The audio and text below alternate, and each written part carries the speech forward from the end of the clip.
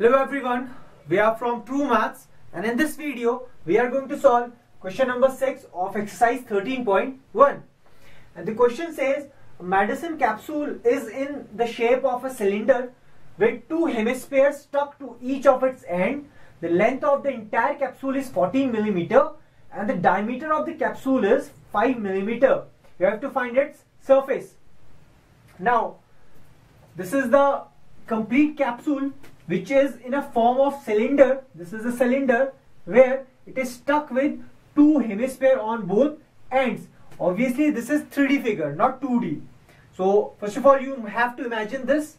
Now you have to find the surface area of this capsule and I have already told you if you want to find the surface area of anything where more than two or more than two surfaces are attached to each other you need to find the area of that surface which is visible to you okay?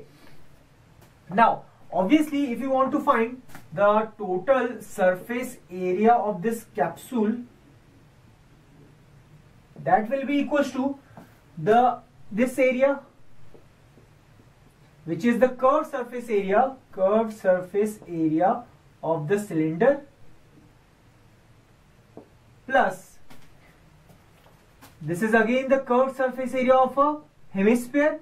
Plus this is again a curved surface area of hemisphere. And this hemisphere and this hemisphere are equal. So if you want to find the surface area of this plus the surface area of this this will join will become the surface area of complete sphere.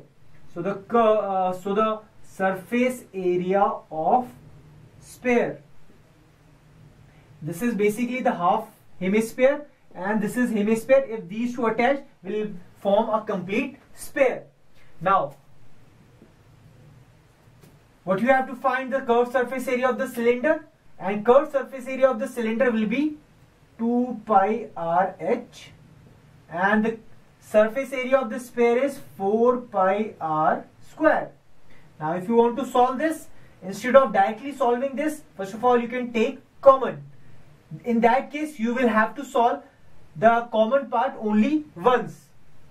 So if I take 2 pi r as common, so from 2 pi r h, if 2 pi r is taken out, only h will remain. And plus from 4 pi r square from 4 can be written as 2 multiplied by 2 and if 2 is taken out only 2 will remain inside the bracket. Pi is taken out and from 2r which is r square if 1r is taken out only one r will remain inside the bracket. Now there is nothing common in this. So you have to take everything which uh, which is common which you have to take out which is common. Now you can substitute the values.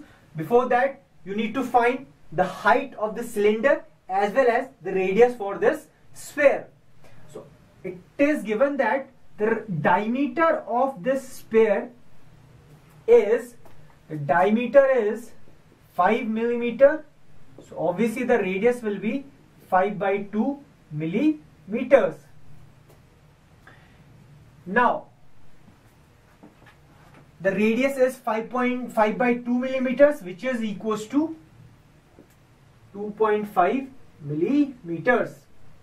Now if this complete height, a complete length of this capsule is 14 millimeter and if this is the radius so this must also be the radius for this hemisphere and the radius is equals to 2.5. So this is 2.5. Similarly, this radius will also be equals to 2.5. So this is 2.5, this is 2.5. So this complete is 10. So from 14 meter, if 10 is my, uh, subtracted, only uh, sorry, if 5 is subtracted, only this value will be the height of this cylinder. So if 5 is subtracted from 14, so this will be 9 millimeter. So the length of this cylinder will be 9 millimeters. So now I can substitute the values here.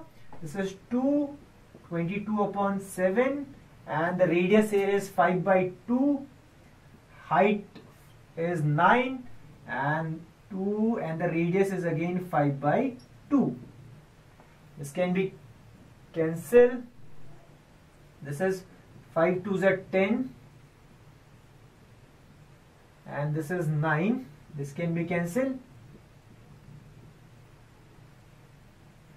Uh, now this will be 110 upon 7 is multiplied by 9 plus 5 is 14 now this can be cancelled two times and 2 multiplied by 110 will be equals to 220 this is millimeter square.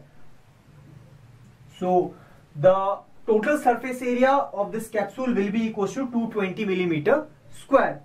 So this is how you can solve this question. I hope you have understood how to solve this if you like this video, please subscribe to our channel. And if you have any problem in maths, you can directly contact to us. The phone number, the email address and the WhatsApp number is given below in the description. Thank you.